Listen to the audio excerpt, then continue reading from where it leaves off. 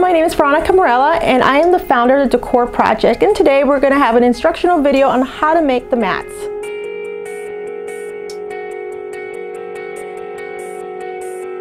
So what you'll need to get started for this project are the following. You'll need all-purpose thread, either dark navy blue or dark blue or black. You'll need some elastic.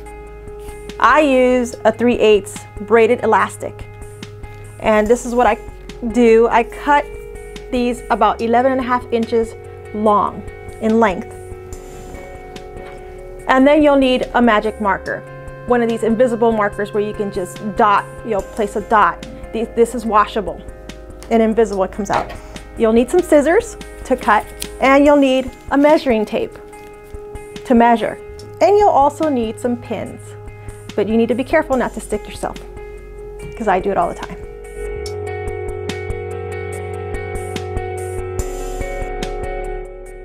Well, we collect these almost every day. These are the wraps that we collect, the blue from the ortho tray, ortho trays or other instrumentation. And what you do when you collect these, and of course these are cleaned, um, they're not dirty, these are taken out before, prior to the patient coming into the room.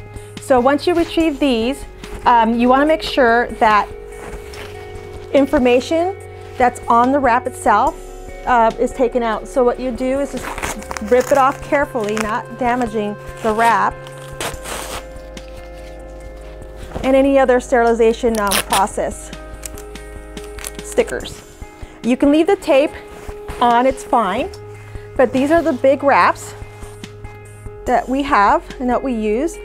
And you will need two of these wraps, the exact same size, in order to make and complete the sleeping mat for uh, the homeless. So after you removed all the information from the, the wraps themselves, um, you will need, uh, well, it's recommended to have a large space in order to, to put these together, um, dining room table or the floor, anywhere, in order so you can have some room to work off of. So once you have, the, have everything off, you will fold the two mats in half and then what you'll do, either, either way you fold them, long ways, it's, it's a perfect square, so to speak. So any way you fold them, that's fine. So once you get both of them folded, you'll put one inside the other. So you'll sandwich the two mats. And just um, make sure they're all lined up. One won't fit all the way through, so, um, and that's the beginning of your mat. And what you'll take is some pins here and start pinning from the top here where the two mats meet all the way across on the sides, the bottom, so you have a complete mat. After you do the pinning, you will take a measuring tape,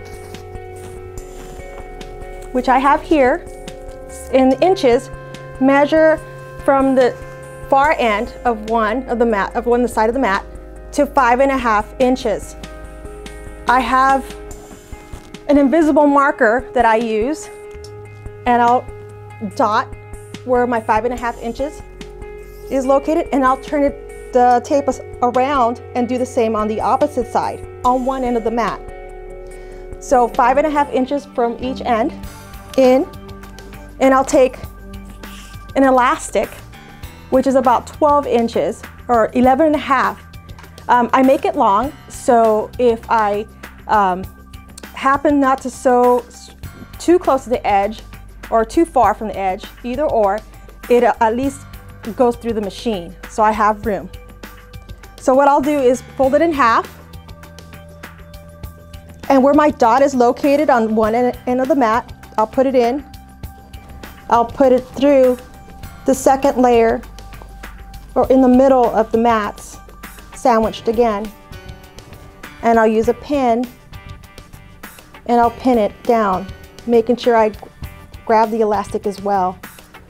And I'll do the same for the next the other end. Fold it in half. Go through the sec through the middle layer of both mats and make sure they're about the same length same across and pin it as well. And this is the beginning of your mat. Next, you will sew the mat in a single stitch. Start stitching um, here at this corner. I purposely put the mat this way. I don't know if you can see, there's a, a border here. It doesn't matter how far in you make it. It's just an inch or half inch in, all the way around, each corner, the bottom, and back up again. So let's start sewing.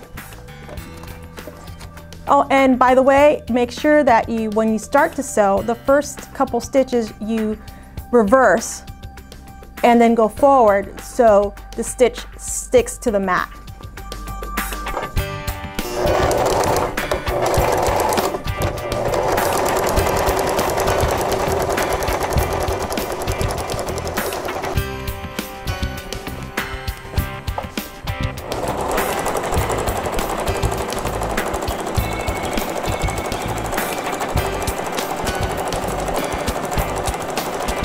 After you've, you've done your running stitch on all four corners, make sure that you take your pins out. Being careful not to poke yourself. Um, you can also take your pins while you're sewing, stop and sew, but what I do is put them a little further back like this, away from my border in order for me not to do that, so I can just go. So after you've taken all this, all the pins out, make sure the tails that are cut off.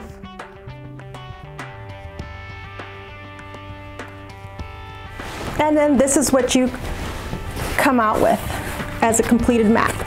Here are your elastics on this side, on the one side. And what you'll do is on one end, fold, start rolling it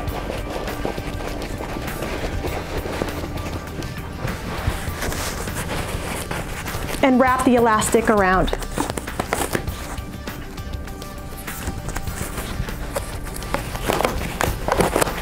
So this is my finished product. This is my mat. And on a good night, I can sometimes do 15 to 20 mats in an hour. Just have to have my caffeine, my coffee, of course. So uh, if you have any questions, you can email me and I'll answer you back as fast as I can. So what are you waiting for? Let's get started.